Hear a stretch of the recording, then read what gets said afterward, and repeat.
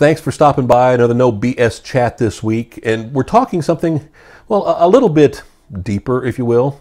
As people get on with social media, as they build up a following, as they build up a fan base, as they build up a business using social media, they start throwing around one of those fancy, you know, $3 words um, analytics, Google is, is, I don't say the one who, who made analytics famous. I mean, analytics has been around for a long time. It's, uh, it's the analysis of data, it's analyzing data, whatever it is. I mean, analytics isn't a big word, but everybody wants to throw it around because, well, they want the analytics.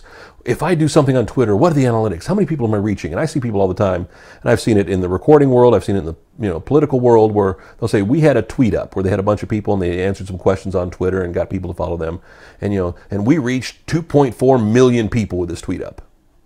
Well, I can show you stats that'll make you say 2.4 million. I can show you stats that'll make you say 240 people. Just because it's there, just because the potential is there, doesn't mean you actually reach those people. I mean, I've got a huge Twitter stream all the time where it's just flowing stuff. I don't necessarily always pay attention to it. Analytics are important. Analyzing the data is important. I do a lot of data analysis on a regular basis. And sure, I have all the fancy tools and know all the websites you can go get all the data from and all the services you can buy all that great data from. Again, those services are in the money, are in the business to make money for themselves. Yeah, they're going to give you data, but at the same time, it's more about them making money for themselves. There are just some basic things you can do on your own to track data. You know, as I talked about years ago, when I got involved in a management program called QualStat, qualitative statistical analysis. I didn't want to get involved with it. It was something we were forced to do at the radio station I was working at, and I came to love it because it basically said if, if something happened on day A and all of a sudden the numbers raised, what was different than day B where the numbers didn't raise? What was the thing that made the statistics move? Was it an aberration? Was it just a fluke? Or was it a change of structure you made that all of a sudden made a difference? And if you made a change in structure, what if you were to do it again? Would you repeat that change in structure? It's a basic tenet and it's a basic principle of qualitative statistical analysis. But at the same time, it, it's just a great way to look at, at, analytics. It's a great way of looking at everything. I mean, too many people get so caught up in they put up a Facebook post. It's like, well, I wonder how many people are going to share it. Well, what is the pattern for sharing? Are you thinking time of day? Are you thinking day of week? Are you thinking month of year? Are you thinking what season is it? Are you thinking what's going on around the world? You got to take all those count, uh, factors into account. So analytics are great tools, but so many people look at finding ways of making analytics justify things. And sometimes they'll tell you the return on investment of social media is tough to justify at this point. You get what you pay for. A lot of these sites are free, so therefore you're really not getting the same thing. You're not necessarily getting, you know, true quality buyers, to true quality, you know, purveyors of your service of whatever it may be. Analytics are important, but don't get caught up in the numbers game. Don't get caught up in the BS.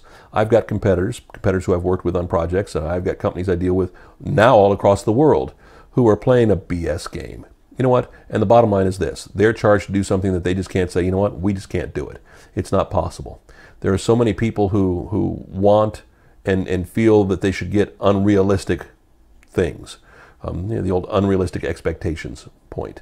Uh, a lot of recording artists think that they should be bigger stars than what they are. A lot of politicians think that they should be more popular than what they are. Just because Obama did such a great job with social media, they think if they kind of try to replicate that, that they should do the same thing. There are more factors involved. So you can look at all this great data. You can pay for all this great data. But at the same time, are you really hitting on all the basics?